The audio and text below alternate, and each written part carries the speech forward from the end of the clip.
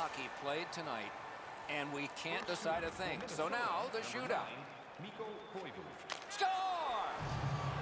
Mikko Koivu's got this goaltender talking to himself. What a move he put on him.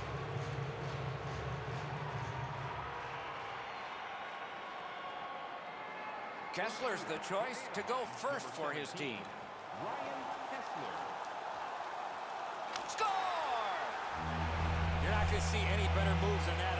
the D. That round meant nothing. Still tied. Score!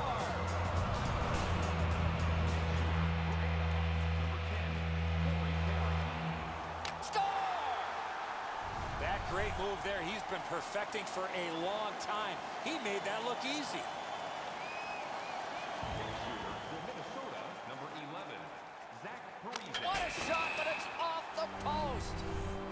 Sometimes you get a little lucky when that puck hits the post. Unfortunately here, it did not go in. Outstanding save by the goalie.